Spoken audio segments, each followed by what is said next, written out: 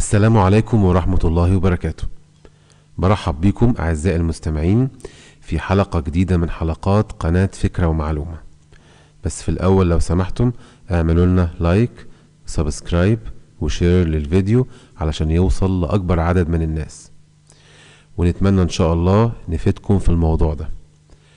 آه موضوع الحلقة النهاردة عن إزاي أعمل جدول استعلام على برنامج مايكروسوفت اكسس 2010 كتير بيشتكي من صعوبة البرنامج لكن هو مش صعب ولا حاجة. آه الفكرة في الأكسس إنك بتنشئ جدول وبعدين تنشئ استعلام مبني على هذا الجدول. بمعنى إن بيبقى عندك جدول table 1 مثلا مكون من مجموعة من الحقول ID first name last name age salary date of birth URL وهكذا. دي اسمها فيلدز أو الحقول الخاصة بالجدول والمفترض إن حضرتك أنشأت الجدول وحاليا أنت مستعد لعمل استعلام على هذا الجدول. إيه الخطوات؟ بنضغط على التبويب create الخاص بالإنشاء وبعدين نختار query الاستعلام يعني query يا إما query wizard يا query design الاتنين يصلحوا لإنشاء الاستعلام ولكن الطريقة الأسهل هي query wizard اللي هي بتبقى عن طريق قوائم بتسلم لبعضها next next next وهكذا. وعايز أكد تاني إن علشان حضرتك أو حضرتك تنشئ جدول استعلام لازم يكون عندك جدول موجود بالفعل زي ال table 1 اللي معانا هنا في ID حقل المسلسل أو الحقل الرئيسي اللي بيتم فيه ترقيم السجلات و first name الاسم الأول last name الاسم الأخير أو اسم العيلة ايج العمر أو السن salary الراتب date of birth تاريخ الميلاد URL الخاص بعمل ارتباط تشعبي لصفحة نفس المستخدم على النت أو على الفيسبوك so and so طيب آه المفروض إن حضرتك بتنشئ الجدول الجدول منشأ بالفعل. هنتجه بعد كده ل create ونختار query wizard click عليها. هيقول لي you must save the table table 1 before you can create a new object based on it. يعني لازم تحفظ تعمل save أو حفظ لل table بتاعك. هقول له yes وتسميه مثلا table 1 ممكن نسميه كده أو آه نعيد تسميته مثلا نقول my table ونصيحة لما تيجي تاخد مسافة بين آه الكلام وبعضه لو معاك كلمتين أو أكتر استخدم ال underscore بلاش المسافة العادية إذا تكرمت عشان ما يبقاش فيه spaces أو فراغات في الكلام بتاعك. okay؟ كده خطوة حفظ الجدول انتهت.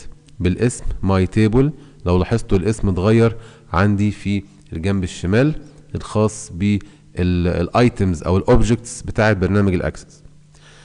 ننتقل للخطوات نفسها بقى الخاصة بإنشاء ال query الجديد. هنختار simple query wizard. Simple يعني بسيط.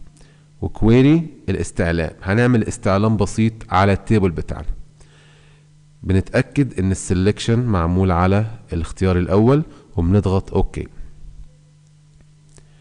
الخطوة اللي بعد كده هي اختيار الجدول والحقول بتاعته اللي محتاجها داخل الاستعلام. خلوا بالكم الجزء الفوقاني ده أو التبويب أو ممكن نقول القائمة المنسدلة ال combo box اللي فتحت معانا دي بيبقى فيها الحقول المنشأة داخل قاعدة البيانات. سيادتك بتعمل click وتختار جدول منهم أو استعلام لو أنت عندك استعلامات. بتختار العنصر اللي انت عايزه أو الجدول بيتفرط العقد تحت زي ما أنتم شايفين. كل محتويات ال table موجودة عندي اللي أنا عملتها already من الجدول الأولاني. فاضل بقى إن أنت تختار مين يا ترى اللي هيبقى معاك في الجنب اليمين. الجنب اليمين ده خاص بالاستعلام. يعني أنت بتحدد الحقول المستخدمة داخل جدول الاستعلام في الخطوة دي. بكليك على سهم واحد بينتقلوا معاك واحد بواحد. ولو رجعت الاتجاه المعاكس يرجعهم لك تاني. ولو ضغطت سهمين يروحوا كلهم وسهمين اللي تحت خالص دول يرجعوا كلهم. هو بيديك إمكانية اختيار الحقل اللي انت عايزه داخل استعلامك.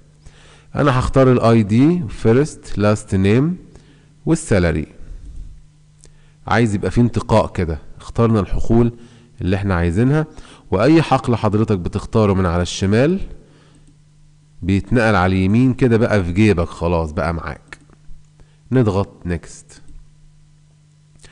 هيسألك هيديك اتنين radio buttons عايز detail ولا summary detail يعني تفصيلي سمري يعني مختصر. أنا هقول له detail عشان يبقى كل التفاصيل متاحة تحت إيدينا. next خلوا بالكم كلمة wizard بتبان هنا. خطوة بتسلم خطوة. next next next اللي أنتوا كلكم بتحبوها وأنا كمان الحقيقة. next الخطوة دي بقى بيقول لي what title do you want for your query? يعني إيه العنوان اللي انت عايزه لل query بتاعك؟ تحب تسميه إيه؟ هو اقترح my table query. أنا ممكن أمسح الاسم ده وأخذ أسميه بالعربي مثلا.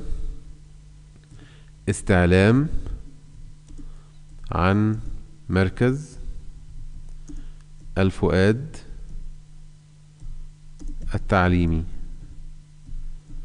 مثلا. واختار بقى من تحت. هل عايز أعمل open فتح على طول؟ ولا modify the query design تعديل للتصميم. نصيحتي اختار modify لأن أنت حتى الآن ما قلتلوش يستعلم عن إيه. إحنا عايزين نقول له بقى استعلم عن فلان أو هات فلان أو هات علان أو هات اللي عمره كذا اللي مرتبه كذا وهكذا. لو قلت open هيفتحه مباشرة يبقى الاستعلام كأنه ما اتعملش. هيفتح مجرد بياناته بس. لكن modify آه يعني هعدل على التصميم وأقول له بقى هات كذا وسيب كذا. هنقول modify معلش أنا بطول شوية بس نفهم سوا ونسمع مع بعض. finish finish لما تضغط عليها أنت كده خلصت. لو لاحظتم آه في الخانة بتاعت ال queries بقى في اسم جديد اسمه استعلام عن مركز الفؤاد التعليمي. بصوا بقى تحت. لو نزلنا تحت كتير ها شوفوا.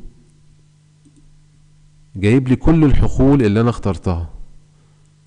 First last age salary وهكذا. إحنا بعد إذنكم هنصغر الريزوليوشن شوية.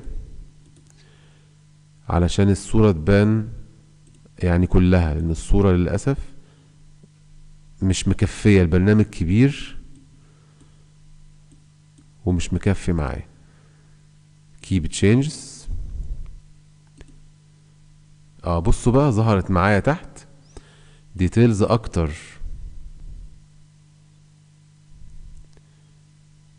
ملاحظين؟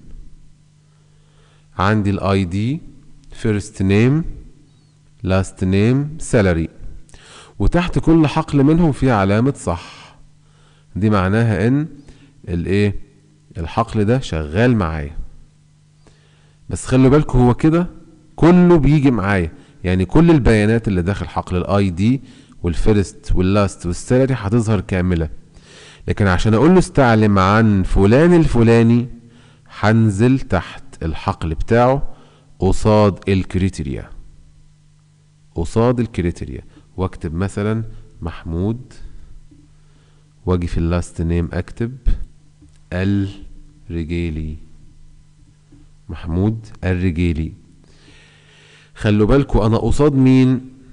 criteria هي دي الفكرة. لما تيجي تكتب بيان عايزه يطلع في الاستعلام يعني سيادتك بتستعلم عن شخص اسمه الأولاني محمود first name واسمه الأخراني الرجيلي. last name لازم تتأكد إن أنت قصاد criteria. criteria دي اللي على الشمال دي هي معيار الاستعلام.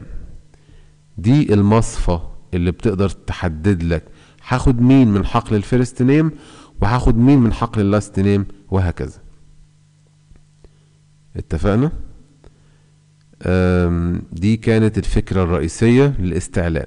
طبعا أنا ممكن أغير معياري يعني أقدر أقول له هات ال salary بتاعه مثلا ألف جنيه.